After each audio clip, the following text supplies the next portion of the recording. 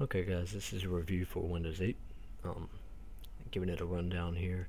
Uh, basically, I uh, just wanted to to kind of get rid of some of the hate for Windows 8. Uh, I, have had Windows 7, I've had uh, XP, I've had 2000, I've had 95, I've had 98, had all that crap.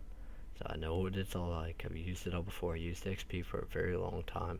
Um, used 7 for about no, since it came out pretty much. Um, let's basically do some rundowns here. Um, first thing, uh, it, it, it, definitely looks a lot crisper um, in general with the border down here, not nearly smoothed off. It's also got uh, this on the side. You just kind of move your mouse over to here and then pop it up. You have to let it sit there for about a second or two and it'll you have to move it down to the very far corner and it'll pop up in like a second you can go to start, which brings you to this tile type. Then you go back to hit desktop. Very easy, very simple. Then uh, here's like how to go to settings. You can go to control panel, personalization, all that good crap. Um, they're very, pretty much the same exact thing as Windows 7 right here. All that looks the same. The border looks different, a lot crisper. Um, the minimize and maximize and the close out button looks a little bit different. The scroll bar looks different too. Border, of course, um, gives it a, a, little bit smoother look. The way it highlights is a little bit different, kind of fades in real fast. And then uh, um, that looks the same as Windows 7. This looks pretty much like Windows 7 except for this start bar. But about the start bar, you can go to Start, and when you get to here, you can go over to here, and when you get down to that far right hand corner you can do this on the desktop too like I showed you. And you just basically go down to the far right hand corner you move up go to search and this is all of your applications and everything you do and that's something I don't understand. It's got the administrative tools it's got the Windows ease of access Windows system command prompt and all that stuff. And it's exactly like a, a start button. You just go in and you type in games. And and then say you want uh, Bing or Chrome, it, it just pops all that stuff up.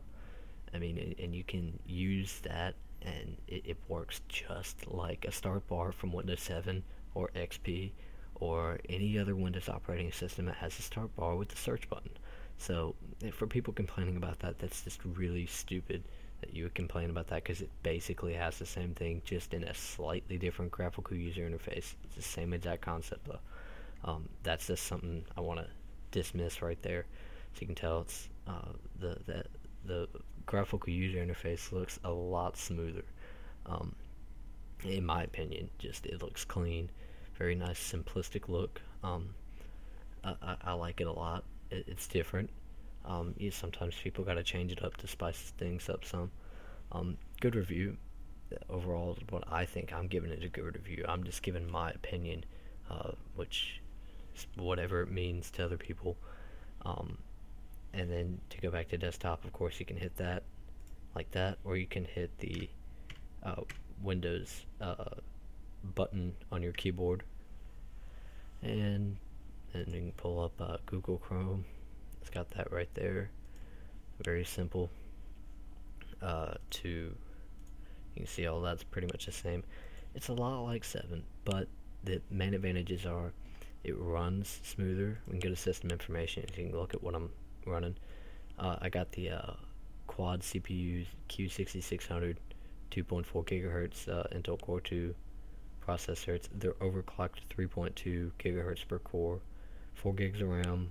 Um, got a uh, 320 gigabyte uh, or 280 gigabyte uh, hard drive, SATA hard drive. Um, nothing fancy. I think it's like 7200 RPM. Um, you see Windows 8 Pro, 64-bit, blah blah blah, stuff you already know. So, uh, um, yeah, and then you that's that's pretty much about it. We can go to this. That looks exactly like Windows 7. Um, so I don't see the big complaint there. A lot of this is a lot like it. The main thing that's a big difference, people just see this and are like, wow, this is way different, so I, I can't get this at all. It makes no sense. But it's it's very easy to use.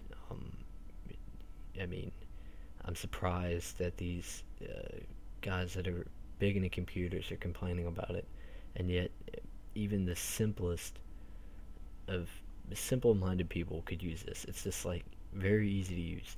Now, yes, it may not give you as many options, but actually, if you figure out how to use it like I have, which it took me about 10 minutes, you can do just as much with this as you can with Windows 7, as you can with Windows XP, or as you can with Windows 2000. You can do just as much if you figure it out. It's not hard, and it took me like 10 minutes just doing a rundown. And it's it's very nice also um, to go back to desktop. You can go over to the corner, move up some, and if you have tasks running in the background, you can right click on it and click close, and it closes it. But once you don't have any tasks running in the background, you can't do it again unless there are any tasks. Um, now that's that's really about it. I mean, like I said, going back to this and being able to go to the corner and hit search. And then just there's your start menu right there. Um, in a lot cleaner look. It's got a, a, lot more wide open.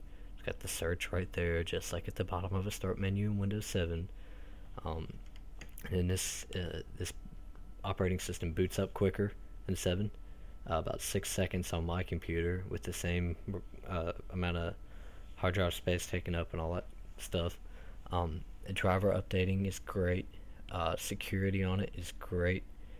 Uh, it's it runs really smooth.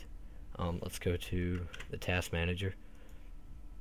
Uh, you can see that the performance it's only using about uh, I mean not much of my CPU. It's only using about probably one core right now, and then 1.2 gigabytes of RAM. It's that's nothing. It's not bad at all. Um, and I'm running Chrome and that's really about it. And then like if I, I would exit out of Chrome, but I can't right now. But without Chrome up, it, it goes down to about 0 0.9, 0.8, which is about what uh, Windows 7 would be. So it, it runs smooth. I like the crispness of it. It looks really good.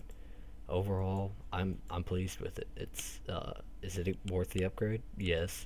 Um, in my opinion, it, it's nice to be a little bit more up to date because, of course, Windows is gonna want to force updates upon stuff and make it a little bit tougher for you to have older operating systems like they did with XP and like they did with all this other stuff. But overall, is it bad? No, not at all. Is it better than Windows 7? I would say so. In my opinion, I like it better. Um, this is really my review, and that's that's really about it.